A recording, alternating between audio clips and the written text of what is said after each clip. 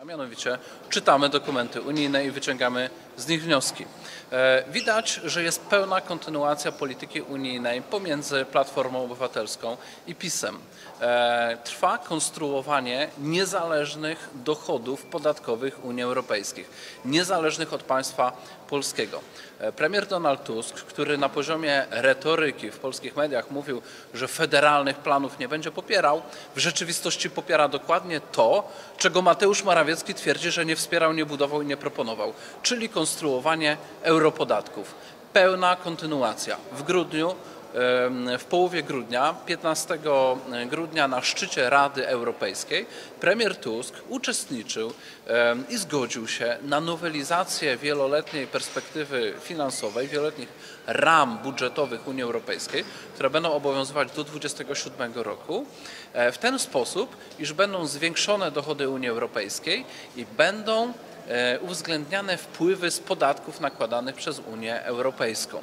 E, mówimy o trzech nowych podatkach. E, z przychodu, od przychodu z handlu emisjami CO2 on ma wynosić między 25 i 33%. Jest to podatek wyjątkowo absurdalny, dlatego że tych certyfikatów do handlu emisjami mogłoby w ogóle nie być, jak również możliwości handlu i zarabiania na tym mogłoby w ogóle nie być. To powstało z woli urzędników unijnych, z ich inicjatywy, a następnie instrument, który stworzyli stworzyli umożliwili zarabianie, na nim teraz opodatkowują. Istny świat absurdu. E, drugi to podatek od śladu węglowego, a więc realizacja obłędnej polityki klimatycznej Unii Europejskiej, polityki, której e, w podobnej formie nie prowadzi nikt na świecie i która nie zanosi się na to, żeby miała przynieść jakiekolwiek e, weryfikowalne rezultaty. I trzeci to podatek od zysku korporacji ponadnarodowych. Konia z rzędem temu, kto wyjaśni, dlaczego zyski korporacji międzynarodowych które operują na rynku europejskim, miałyby trafiać do Brukseli, a nie na przykład w proporcjonalnej liczbie do stolic państw, państw członkowskich, w tym do Warszawy. To, co jest bardzo interesujące w grudniowych e, konkluzjach Rady Europejskiej, to fakt, że wprost w dokumentach e, Rada Europejska powołuje się na ustalenia z 20 roku, a więc na ustalenia, które my cierpliwie od czterech lat w Polsce nagłaśniamy, ustalenia, które podejmował rząd Mateusza Morawieckiego i kiedy zapadały decyzje o wprowadzaniu podatków europejskich, które w sposób absolutnie hipokrytyczny premier Morawiecki już e, po wyborach e, w swoich wystąpieniach sejmowych krytykował, także w wywiadach radiowych, mówiąc, że on się nie zgadza, żeby podatki płacono do Brukseli, on chce, żeby tu zostawały dochody Polaków w Polsce. A w 20 roku jak najbardziej zgodził się, położono podwaliny, my przed tym ostrzegaliśmy. Przypomnijmy, wprowadzono już zarządów PiS podatek od plastiku, cła węglowego nie wprowadzono tylko dlatego, że się eurokratom nie udało odpowiednich współczynników poustalać, bo chcą opodatkować wszystkie dobra, które które będą wpływać do Unii Europejskiej z całego świata. Jest to iście trudne zadanie, żeby odpowiednio te dobra wymierzyć, jak je opodatkować zgodnie e, z ich założeniami, to znaczy z proporcją emisji CO2. E, no i e, w kolejce stoją, jak już powiedzieliśmy, podatek od korporacji ponadnarodowych, od handlu emisjami, od śladu węglowego, a jeszcze jest mowa o podatku cyfrowym, który gdzieś nam po drodze zginął, ale z pewnością sobie eurokraci o nim we właściwym momencie przypomną. Jeśli ktoś nie wierzy, odsyłamy do dokumentów unijnych, dokument EUKO 23 przez 23, e, to tam jest powołanie, że europodatki są wprowadzane na podstawie decyzji o zasobach własnych, to jest kryptonim na europodatki, przyjętej, uzgodnionej w 2020 roku. Ani premier Morawiecki, ani Donald Tusk nie wetowali europodatków. To znaczy zgadzają się na to, żebyśmy płacili podatki do Brukseli i żeby dochodami e, z Polski e, e, dysponowali eurokraci, a nie polski rząd. To jest zmniejszanie suwerenności państwa polskiego, pozbawianie nas narzędzi polityki budżetowej, to jest likwidowanie państwa polskiego i jego samodzielności finansowej metodą salami. Oddaję głos Anna Bryłka.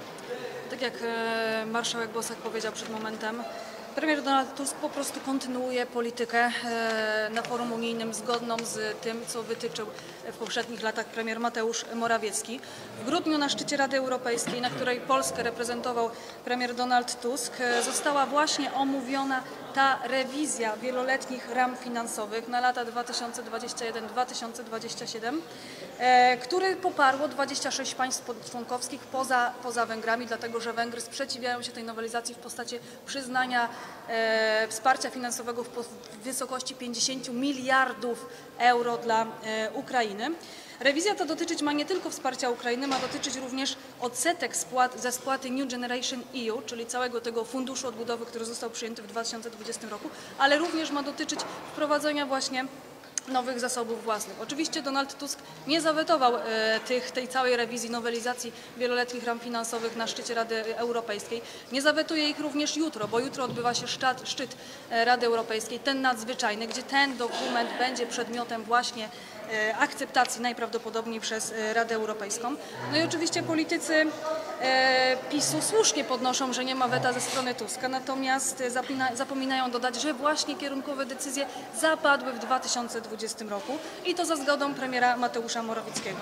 Tak jak e, poseł Bosak powiedział, w tym dokumencie będącym jutro przedmiotem pracy, czy wyraźnie czytamy, że, nowy, że decyzje w sprawie nowych zasobów własnych uzgodniono w 2020 roku. Te nowe zasoby własne, czyli wspólne unijne podatki, podatek cyfrowy, podatek od transakcji finansowych, podatek od śladu węglowego, to także wspólny unijny dług, który będziemy spłacać do 2058 roku w postaci też nowych zasobów własnych.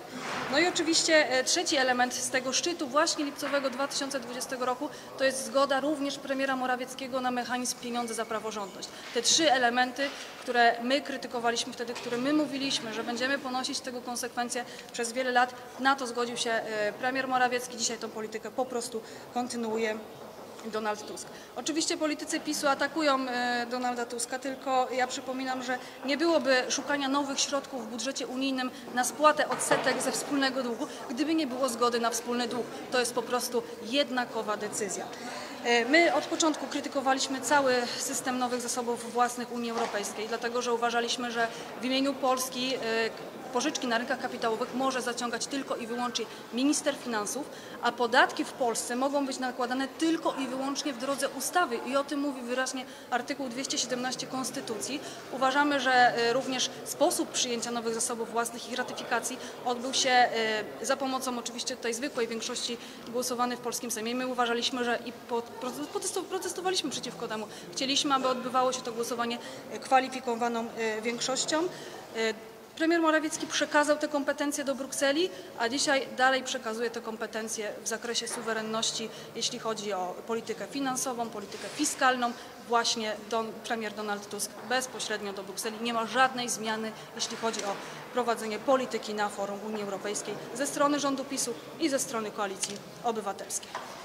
Jeżeli mogę, dodam jeszcze dwa szczegóły, żeby mieli Państwo świadomość, jak to wszystko jest rozgrywane w polskiej polityce. E, mianowicie ta e, em, zgoda na wprowadzanie europodatków przeprowadzona była przez polski Sejm w ten sposób, że większość posłów nie miało nawet świadomości, co dokładnie głosuje.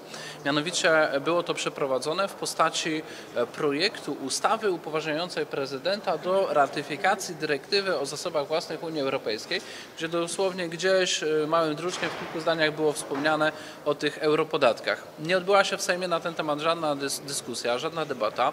Większość posłów w momencie, kiedy to było głosowane w bloku głosowań, nie miało świadomości, że właśnie w imieniu państwa polskiego głosuje zgodę blankietową na wprowadzenie w przyszłości podatków obciążających polskie przedsiębiorstwa i polskich obywateli, podatków o nieznanej e, dotychczas konstrukcji, której eurokraci kilka lat później nie są w stanie ze sobą wynegocjować, co nie przeszkodzi im oczywiście w końcu tych podatków nałożyć.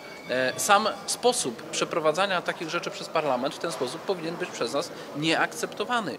Nie powinno być tak, że bez debaty takie rzeczy są głosowane i na bazie takich upoważnień blankietowych, gdzie jest napisana ogólnikowa nazwa podatku, bez jego wysokości, bez wskazania, co będzie podstawą opodatkowania. No wbrew wszelkim regułom mamy całe podręczniki prawa podatkowego, a tutaj nagle jedno zdanie upoważnienia i Unia Europejska już może robić wszystko, co chce. Tak nie powinno być. Druga sprawa. Tu nic nie wydarzyło się przez przypadek. Ja rozmawiałem poprzedniej kadencji Sejmu z ministrami, z członkami rządu e, odpowiedzialnymi za te sprawy i oni celowo to robili. Celowo wprowadzali państwo polskie. E, Wedle wypowiedzi jednego z członków rządu, z którym rozmawiałem nieoficjalnie, on powiedział, że jego zdaniem dla państwa polskiego to jest korzystne. To nie wydarzyło się przez przypadek.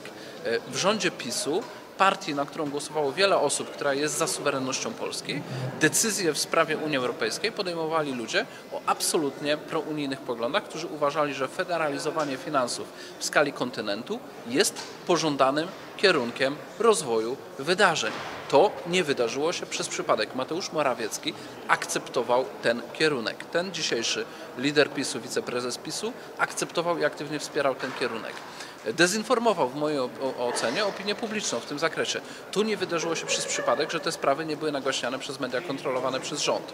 E, ostatnia sprawa e, o której tutaj e, warto powiedzieć, to jest e, właśnie m, fakt, e, jak to wszystko jest załatwiane z wielkim opóźnieniem. To znaczy, e, cło węglowe powinno już dawno obowiązywać zgodnie z dyrektywami eurokratów, a nie obowiązuje. Dlaczego?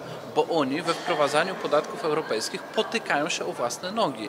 Zakładają pewne terminy, których później nie są w stanie dotrzymać. Dlaczego? Bo poziom skomplikowania tej materii przerasta ich kompetencje. E, Tworzą coś na kształt Urzędu Centralnego Planowania Całej Gospodarki Europejskiej. E, Jest to zadanie niewykonalne, myśmy już to testowali w PRL. E, e, Proszę wszystkich, którzy nie znają tematu cła węglowego, żeby się zainteresowali, dowiedzieli co to jest. To ma być podniesienie kosztów wszystkich dóbr ze świata importowanych do wewnątrz rynku europejskiego w stopniu proporcjonalnym do szacowanego kosztu środowiskowego rozumianego jako e, skala emisji CO2. Jest to naprawdę istna wieża Babel, jeżeli chodzi o prawo finansowe, o podatki, o ekonomię. E, Zaprowadzi nas tylko w jednym kierunku utraty konkurencyjności przez gospodarkę unijną i ogromnego wzrostu kosztów wszelkich dóbr na rynku wewnątrzunijnym.